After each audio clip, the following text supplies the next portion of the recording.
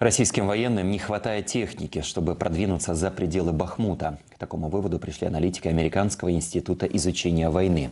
В своем отчете они пишут, что российским войскам, вероятно, не хватает механизированных сил, необходимых для продвижения за пределы города и по дорогам.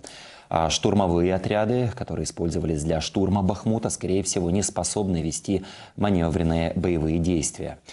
В то же время западные разведслужбы оценивают потери России в боях за Бахмут в последние месяцы в 20-30 тысяч наемников частной военной компании «Вагнера». Причем погибших среди них может быть примерно треть. Напомню, вчера президент Украины Владимир Зеленский заявил, что в случае оккупации Бахмута российские войска смогут пойти на другие населенные пункты Украины. Президент отметил, что оборона Ахмута для, Бахмута для Украины является тактическим решением. При этом мотивы российских оккупантов показать своему обществу хоть какую-нибудь победу. Ожесточенные бои за Бахмут Донецкой области продолжаются уже около 8 месяцев. Оккупанты не оставляют попыток захватить этот украинский город, разрушая его постоянными обстрелами.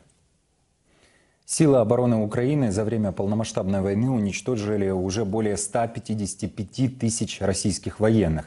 По информации Генерального штаба Вооруженных сил Украины, за минувшие сутки украинские защитники ликвидировали еще 700 оккупантов.